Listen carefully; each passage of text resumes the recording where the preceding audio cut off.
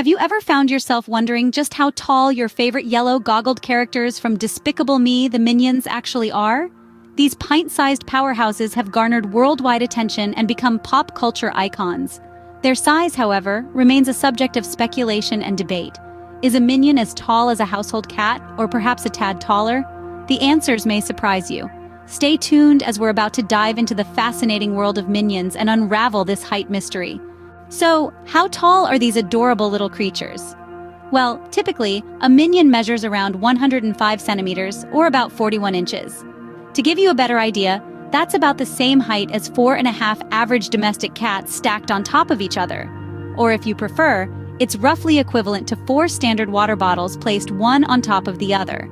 So it turns out minions are taller than your pet cat and about four times the height of your water bottle. So there you have it, folks. Minions, those lovable yellow characters, stand at approximately 105 centimeters or 41 inches tall.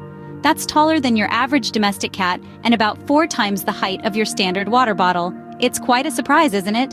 We often forget how tall these adorable creatures really are. Next time you watch a Despicable Me movie, remember, those cute little minions are probably taller than you thought.